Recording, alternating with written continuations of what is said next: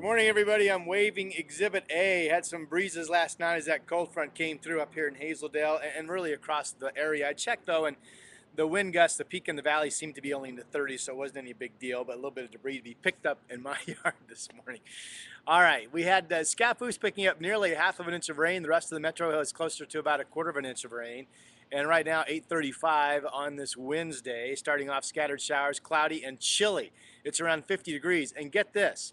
If we fail to hit 60, meaning if our high temperature today out at the airport is only in the 50s, it will be the first time since May 29th, when it was only 56 degrees, that we have not made it to 60. So this could be the coolest day in a long time. I'm forecasting 60 degrees on the nose, so we'll see if we hit it or not satellite imagery page, if you go to it, you can see the spinning circulation of that low pressure system. The infrared picture or the um, water vapor imagery, imagery both show it quite well. So as that pushes inland today, we're going to keep the clouds, the chilly temperatures.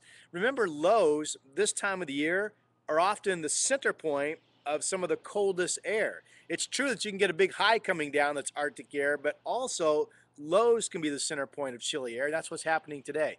As this pushes inland, we'll continue to see scattered showers any sun breaks that we get will fuel the possibility of spotty downpours and also the possibility of some thunderstorms.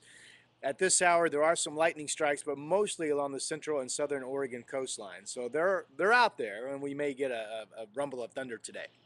Once we get past today, we get into the next couple days and the quieter weather is still on track. This flow pattern brings a couple chunks of some moisture in. One uh, flow pattern shows tomorrow morning, another one Friday morning. So I'm saying maybe there's a light shower Thursday morning, maybe there's a light shower Friday morning, but overall the next couple days look to be dry. Have a super Wednesday. Thanks for using this website. I hope you tell your friends about it. And I hope if you have a smartphone, you save rodhillforecast.com as a favorite and start using the mobile site. It will automatically launch to your phone. It's as easy as that. I will talk to you soon.